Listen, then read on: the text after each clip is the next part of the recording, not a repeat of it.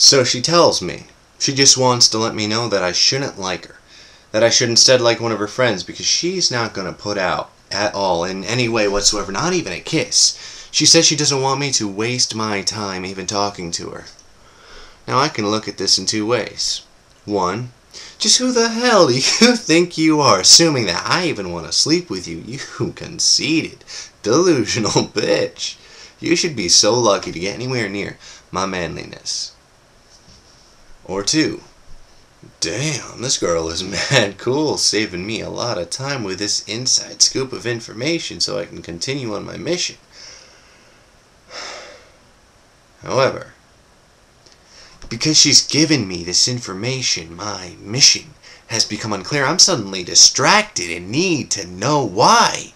Why? I mean, why doesn't she want to sleep with me? Not even kiss me. I mean, have I turned her off in some way? Am I not her type? Just what is it about me that lets her know immediately that she doesn't want me?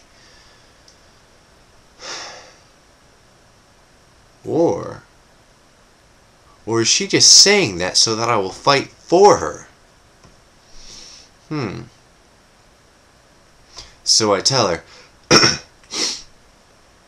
Listen, I don't want your friends. I want you. And I'll be perfectly satisfied just talking with you.